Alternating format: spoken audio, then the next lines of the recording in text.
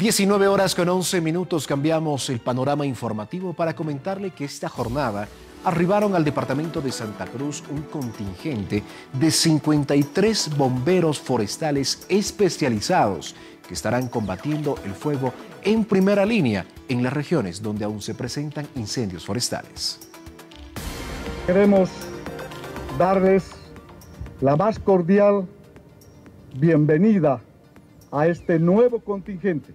De esta manera, el ministro de Defensa Edmundo Novillo recibía a los 53 expertos en la lucha contra el fuego que arribaron este sábado al aeropuerto del Trompillo desde la República Bolivariana de Venezuela. Van a trasladarse este municipio de Urubichá.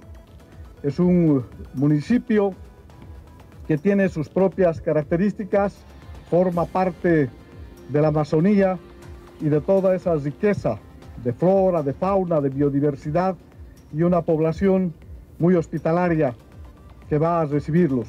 La autoridad al mismo tiempo anunció la llegada de dos expertos españoles que se instalarán en el Centro Nacional de Monitoreo para coordinar las tareas de rastreo satelital contra el fuego que se realizan a nivel nacional. Que nuestro país ha recibido y sigue recibiendo la solidaridad de varios países hermanos Continúan trabajando expertos y bomberos forestales de Brasil. También hemos tenido el apoyo de la hermana República de Chile, que han estado acá con expertos eh, forestales. A su vez informó el arribo de un nuevo avión canadiense Electra Tanker, contratado con 60 horas de vuelo, el envío desde Chile de un helicóptero Bambi Bunker y tres aviones Hércules de nuestro país para continuar con los trabajos de mitigación de incendio en las zonas afectadas.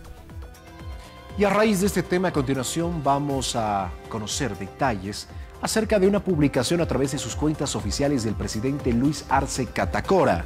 Informamos a la población boliviana que llegaron al país 58 bomberos forestales desde la hermana República de Venezuela, así como dos especialistas de análisis del fuego provenientes del hermano país de España. Estos valiosos profesionales se sumarán a nuestra incansable lucha contra los incendios. Agradecemos a nuestros pueblos hermanos de Venezuela y España por su solidario apoyo.